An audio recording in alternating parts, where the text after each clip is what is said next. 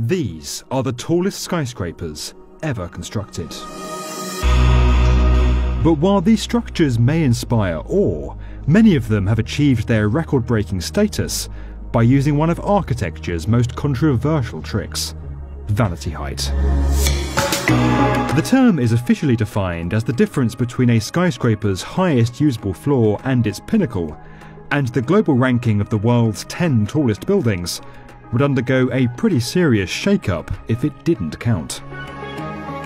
The early 20th century saw many tall buildings include vanity height, partly as a result of the Art Deco style popular at the time. However, as architectural trends moved on, we saw the emergence of skyscrapers that did away with vanity height in order to maximise floor space. Controversy seemingly first erupted in 1998 when Chicago's Willis Tower lost the title of world's tallest building to Kuala Lumpur's Petronas Towers.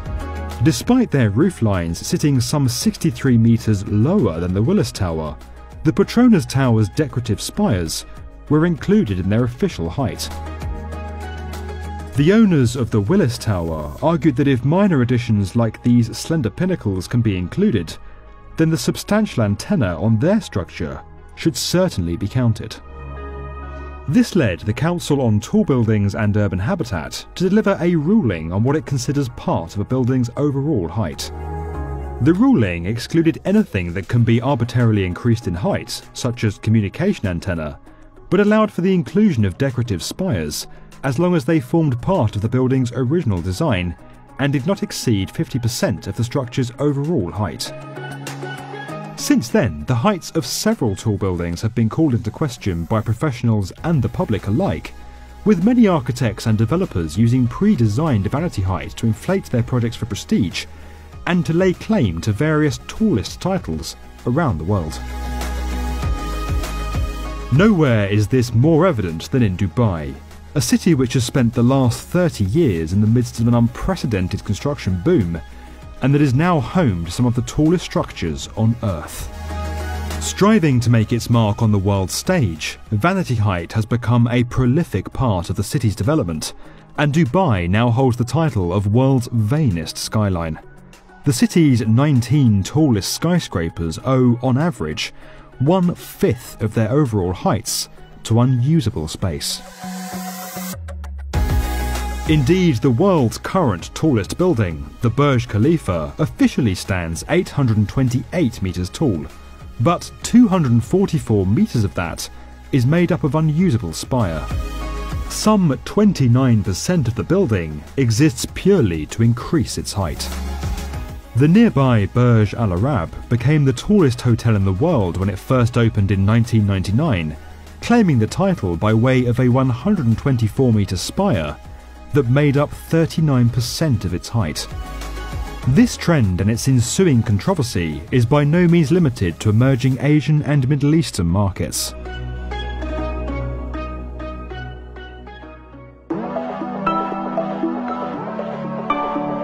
In the United States, One World Trade Center officially became the third tallest building in the world when it completed in 2014, and has only fallen three places in the global rankings since, despite appearing dwarfed by several other more recent skyscrapers. Over on the west coast, Los Angeles' US Bank Tower was overtaken by the Wilshire Grand as the tallest building in the city in 2017, despite Wilshire's roofline sitting 26 metres lower. Australia's tallest building, Q1 on the Gold Coast, has held the title since 2005, despite skyscrapers in Sydney, Melbourne, and Brisbane all rising far beyond Q1's 235 metre highest usable floor. Meanwhile, the Varso Tower will bring the title of Europe's tallest skyscraper outside of Russia to Warsaw in 2020, thanks to an 80 metre spire that has been included in the building's overall height. More recently, the Council on Tall Buildings and Urban Habitat has sought to ease tensions by developing three separate rankings for tall buildings height to architectural top, height to highest floor, and height to tip.